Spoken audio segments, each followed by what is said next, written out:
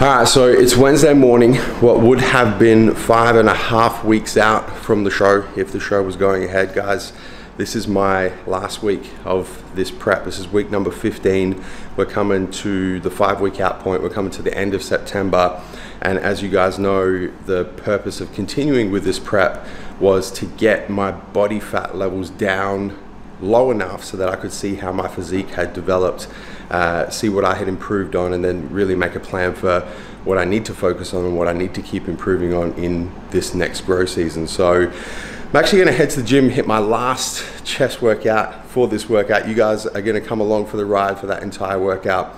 Post workout, we're gonna go through some posing so you guys can see how my physique is looking at this point, five and a half weeks out. And then I'm actually gonna compare posing to my last prep at the start of 2020, see where the improvements are, and then decide what I need to focus on, what I need to improve on in my next grow season, uh, you know, as I reverse out of this prep. So we're gonna head to the gym, hit that chest workout, but firstly, in the last episode of Pro Prep, I showed you guys uh, some supplements, went through some supplementation, and I actually haven't taken you through a full pre-workout supplement stack yet. So let's do that right now.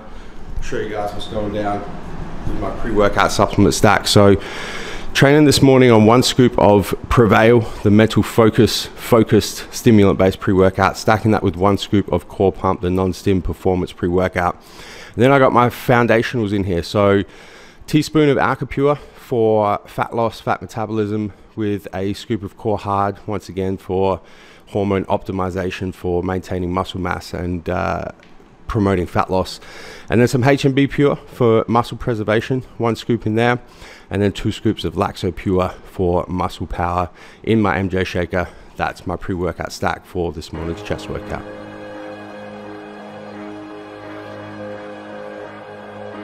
Khalifa, man. Two chains. Money's the motivation, money's the conversation. You on vacation, we getting paid, so we on vacation. I did it for the fam. It's whatever we had to do, it's just who I am. Yeah, it's the life I chose. Gunshots in the dark, one eye closed. We got it cooking like a one eye stove. You can catch me kissing my girl with both eyes closed. Yeah, perfecting my passion, thanks for asking. Couldn't slow down, so we had to crash it. You use plastic, we bout cash. I see some people ahead that we gon'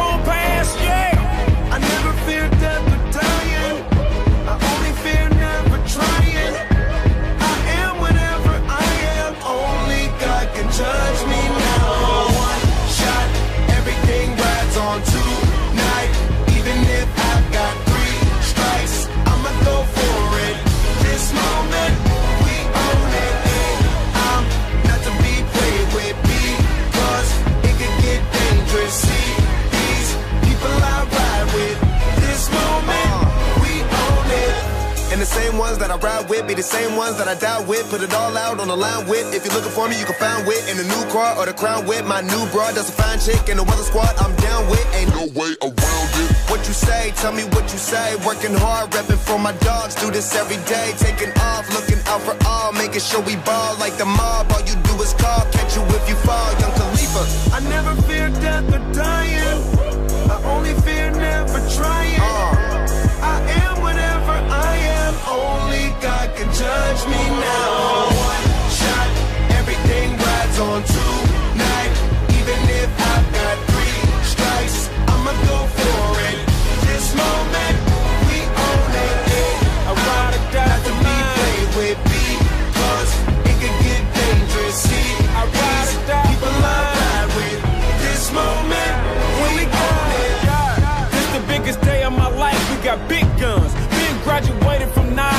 It's day in the life, and I'm ready to ride. Got the spirit, I'm feeling like a kill inside. Or oh, financial outbreak, I'm free, but I ain't out yet. Ride with the plug, so I'm close to the outlet.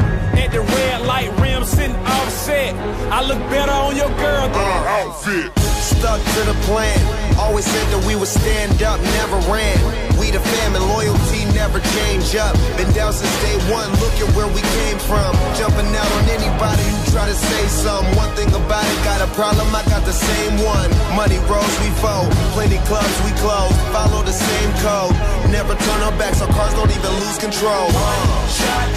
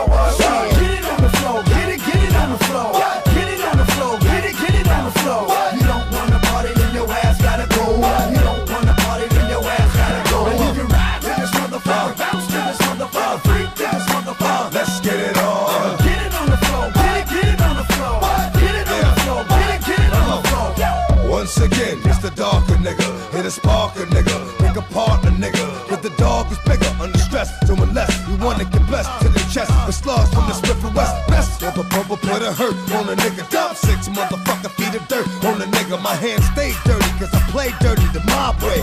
You don't know? Fuck it, find out the hard way. A nigga's job is never done. I handle my business how come. And it's never been a one-on-one. There hasn't been a problem. I dissolve them like salt. Lock it up like a ball whenever records caught. And it's my fault. Keep niggas on point, ducking down. Niggas like you need to get bust, you fucking clown. I extort to support my peeps. And hold down the fort. Never get caught if I creeps. Nigga,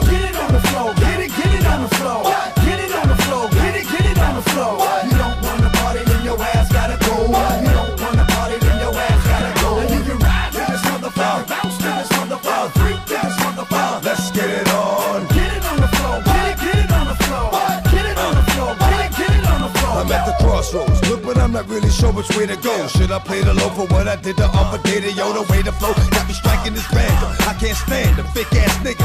Wanna be the phantom. Looking over my shoulder, cause it's colder than it was. Extort shorty because I'm a little older than cuz. And the buzz from the salt with the chain. And here we go. As discussed in episode two, this is the whole purpose of continuing with this prep, guys, knowing that the show wasn't going to go ahead. It was to get my body fat levels down to a point where I could see my physique progression, see how I'm looking, see the improvements that I've made since my last prep at the start of 2020, and then really formulate a plan moving forward. What do I need to continue to improve on? What do I need to work on in my grow season to continue to get better, continue to level up, and bring the best possible package to my pro debut whenever that may be? So we're just going through the men's physique mandatories here, some transitions there as well. You guys can kind of see where I'm at with my physique, keeping in mind that this is still five and a half weeks out, so the body fat is not stage condition. And then just to take you guys through some comparisons. So my focus is for the grow season between my last prep at the start of 2020 and this one were to bring up my chest was uh, from that front men's physique mandatory pose was my biggest focus.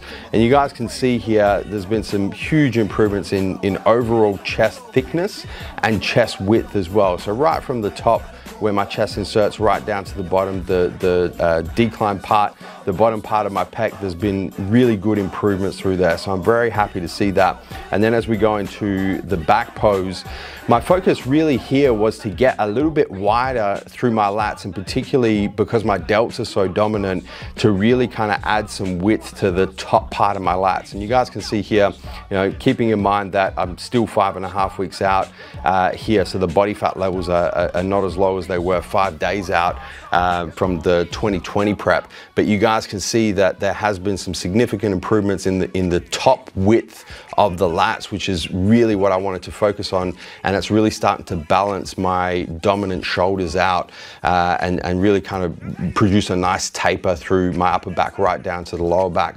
And so I think keeping that in mind, my focus is moving forward uh, during this next grow season. I really want to continue to bring my chest up, in particular my upper chest. Once again, my shoulders are so dominant that they just dominate this, um, this front pose. So I really need to make sure that my chest flows into my shoulders a little bit nicer, which is going to be a big focus on, uh, on the upper chest.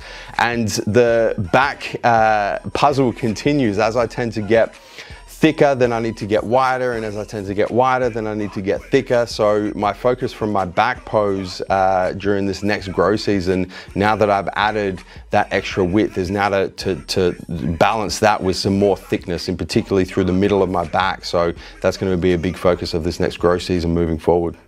Let me tell you guys, this prep, continuing with this prep, has been a lot more difficult than I thought it was going to be. I've never uh, continued with a prep knowing that a show wasn't going to go ahead and, you know, being given notice that this show was being cancelled at that 10 and a half, 11 week out point and then making the, the promise to myself, making the commitment to push on for another six weeks to get to the point where I was five weeks out, uh, you know, for the purposes of seeing where my physique was at was, um, a lot more difficult than I expected it to be. To be completely honest with you guys, going through the the hunger, the fatigue, uh, the sacrifice, all of those things that we're used to experiencing during a prep, but knowing that there wasn't going to be an outcome at the end, knowing that there wasn't going to be a show to to uh, to to really kind of show all that hard work and that sacrifice um, was really, really difficult. Really, really difficult.